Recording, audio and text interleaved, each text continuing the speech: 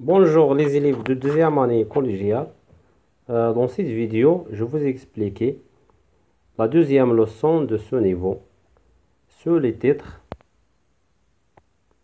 Quelques propriétés de l'air et ses constituants. بعض خصائص الهواء ومكوناته. On commence comme l'habitude par les objectifs de cours. Il y a trois objectifs. Connaître quelques propriétés de l'air. معرفة بعض خصائص الهواء. Connaître la masse d'un litre d'air. معرفة كتلة واحد لتر من الهواء.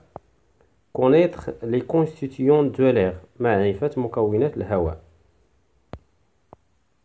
Donc, la première paragraphe, on va parler de la compressibilité et l'expansibilité de l'air.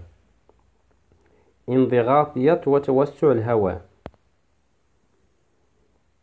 Expérience et analyse. On, on réalise l'expérience suivante. Comme vous voyez dans cette image, on a une seringue mihkana. La seringue est constituée d'un piston, mikbas, ou lié cette seringue avec un manomètre. Manomètre.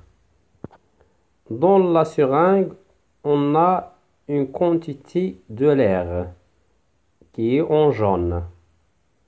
Donc, on va emprisonner une quantité de l'air dans cette seringue. نقوم بحجز كمية من الهواء في هذه المحقنة. Après, on pousse le piston de la seringue. Comme vous voyez ici, dans les masses suivantes, on a poussé le piston. Lorsqu'on pose le piston de la seringue, on voit que le volume de l'air à l'intérieur il diminue. Il est en jaune. Le volume de l'air du menu. La pression augmente si vous avez, voyez, l'aiguille du manomètre, le manomètre, on voit qu'il est dévié vers la droite, c'est-à-dire la pression à l'intérieur, la pression de l'air à l'intérieur augmente. Donc, lorsqu'on pousse le piston, le volume du menu, la pression augmente, On note que la masse ne change pas. Parce que l'orifice est fermé. Donc la masse ne change pas. On dit que, dans cette expérience, on dit que l'air est compressible. L'air est compressible. C'est la première propriété de l'air. On passe à l'expérience suivante.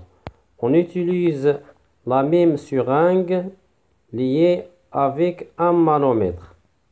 Dans ce cas, on va tirer le piston. On tire le piston de la seringue. Lorsqu'on tire le piston de la seringue, on voit que dans ce cas, le volume augmente. Il est en jaune. La pression est diminue à l'aiguille à partir de manomètre l'aiguille est déviée vers la gauche. Donc la pression est diminue. On note que la masse ne change pas. Le Parce que comme on a dit l'orifice est fermé. الفوهة مغلقة.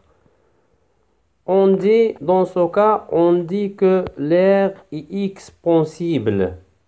نقول أن الهواء قابل للتمدد أو التوسع.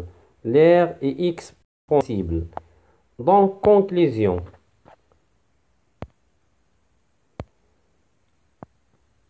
L'air, comme tous les gaz, n'a pas de volume propre. Il est compressible et expansible. Maintenant, on a parlé de deux propriétés de l'air.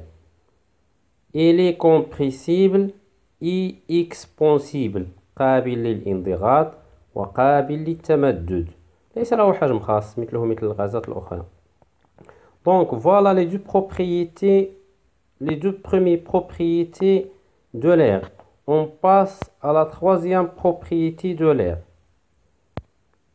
La deuxième paragraphe. L'air a une masse. L'air a une masse. On réalise l'expérience suivante comme vous voyez ici. Dans cette expérience, on a trois étapes. Première étape, on mesure la masse d'un ballon gonflé avec une balance électronique. Comme vous voyez, on trouve que la masse du ballon gonflé est M1 est égale à 464,8 kg. Après, la deuxième étape, on utilise un cristallisoire dans lequel on met une quantité d'eau. Après, on renverse une épreuve gradiée de capacité à litre au départ remplie par l'eau dans le cristallisoire. في هذا الحوض غنكسو واحد المقدار مدرج سعته هو واحد لتر نملأه في البداية بالماء Pour lier les provites au ballon, on utilise un tuyau en plastique et une aiguille غنربطو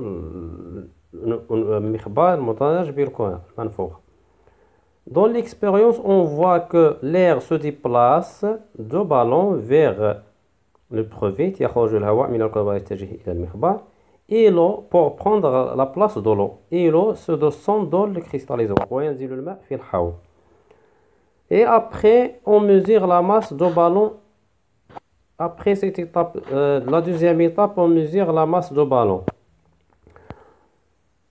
la masse du ballon après l'extraction de 1 litre d'air de 1 litre de son air I بعد استخراج 1 لتر من هوائها on trouve M2 est égal à 463,6 grammes بعد أن استخرجنا واحد لتر من هوائها لأن هوائها يأخذ مكان الماء donc il y a de différence entre M1 et M2 كاين الفرق ما بين الكتلة في الحالة الأولى والكتلة في الحالة الثانية بعد استخراج واحد لتر من هوائها on voit que la masse est diminuée on constate que l'air a une masse نلاحظ أن الكتلة نقصت يعني أن الهواء له كتلة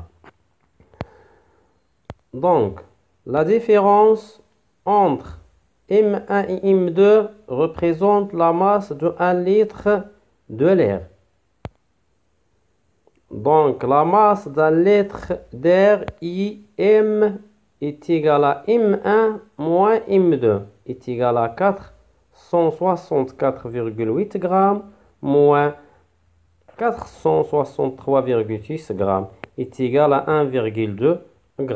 Ça, c'est la masse d'un litre d'air dans les conditions de l'expérience. Conclusion bien bilan. L'air a une masse. Donc, l'air a une masse. Dans les conditions habituelles, P est égal à 1013 hectopascal et T est égal à 20 degrés Celsius, la pression et la température. Un litre d'air a une masse de 1,2 g. في الظروف الاعتيادية ديال الضغط la température هي 20 degrés Celsius كتلة واحد لتر من الهواء هي واحد فاصلة جوج غرام واحد فاصلة جوج واحد فاصلة ثلاثة واحد فاصلة ستة وعشرين في الظروف الاعتيادية l'essentiel. Donc, on peut calculer la masse volumique de l'air I, ρ est égal à M sur V. Dans ce cas, on a trouvé M est égal à 1,2. Et le volume, c'est 1 litre, parce qu'on a extrait 1 litre. Est égal à 1,2 g par litre. C'est la masse volumique de l'air. Voilà la troisième propriété de l'air. Très bien. On a fini pour les propriétés. Maintenant, on passe à les constituants les constituants de l'air. La troisième paragraphe et la dernière, les constituants de l'air. Expérience.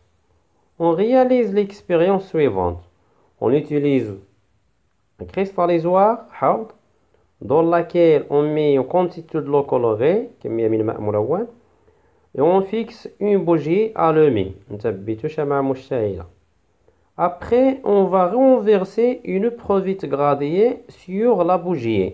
سنقوم بنكس أو قلب مخبار مضاج فوق الشمعة المشتعلة. نوتي il faut noter que يجب التسجيل أو التأكيد على أن الاحتراق ديال الشمعة يحتاج ثاني الأكسجين. La combustion de la bougie est il est obligatoire l'existence de dioxygène. Il est nécessaire le dioxygène O2, ثنائي l'oxygène. Après quelques instants, on note les observations suivantes. On voit que la bougie s'éteint, il n'est plus allumée, et l'eau se monte sur ou bien dans, dans le produit gradient. يصعد الماء في المخبار المضاد بقدر الخمس إلا حسبنا اش على ديك اش الأخرى اش صغير على اش كبير نلقاو الخمس واحد على خمسة صعد بواحد على خمسة دونك لي ان اناليز تحليل هاد النتائج التجربة observation. L'eau monte dans les provites de 1 sur 5 donc manque d'un gaz et l'eau se monte pour occupe la place de gaz qui manque ou bien qui disparaît La bougie s'éteint, pas de dioxygène, ou bien pas d'oxygène. L'eau ne monte pas totalement dans l'éprouvette, il y a d'autres gaz.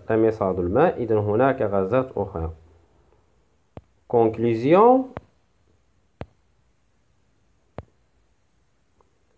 L'air est un mélange de nombreux gaz.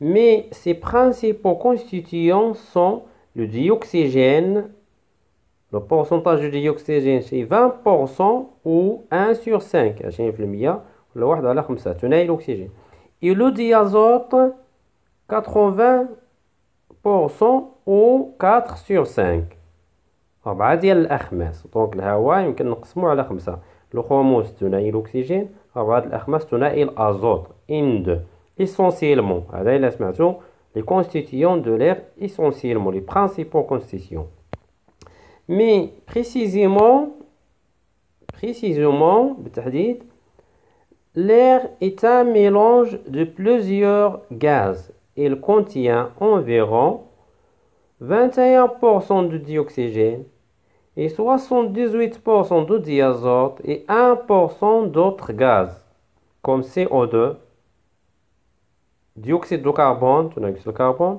O3, l'ozone et vapeur d'eau etc هذا بالتحديد فإن الهواء كيتكون من عدة غازات أهمها ثنائي الأزوت بنسبة 78% ثنائي الأكسجين 21% وغازات أخرى 1% مثل ثنائي أكسيد الكربون الأوزون وبخار الماء Donc c'est ça les, les constituants de l'air. Deux constituants essentiels, il y a d'autres constituants. Et voilà, c'est la fin de cette vidéo. J'espère que euh, toutes les choses sont claires pour vous. Si vous avez des questions, vous pouvez les poser aux commentaires. Au revoir au cours suivant, Inch'Allah.